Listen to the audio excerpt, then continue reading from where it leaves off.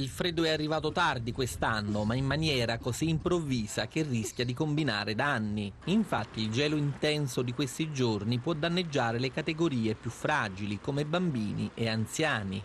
Oltre l'incremento di sindromi influenzali, le basse temperature possono causare una recrudescenza delle malattie croniche, specialmente dell'apparato respiratorio, cardiovascolare e di muscoli e scheletro. Abbiamo chiesto a un medico una serie di consigli per evitare le conseguenze più gravi.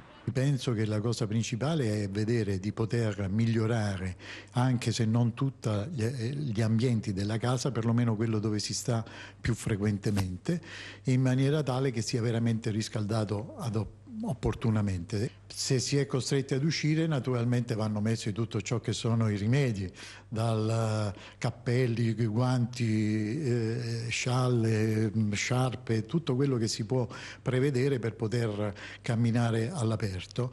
Per le persone più anziane è importante contattarle frequentemente e assicurarsi che assumano pasti e bevande calde, evitando gli alcolici che non aiutano a mantenere la temperatura corporea, contrariamente a ciò che si pensa normalmente passare da un caldo a un freddo eccessivo, tanto per dire il passare da un ambiente all'altro, dalla camera di soggiorno che è ben riscaldata a un bagno freddo, lì bisogna stare attenti. C'è un'alimentazione eh, per questo periodo dell'anno specifica?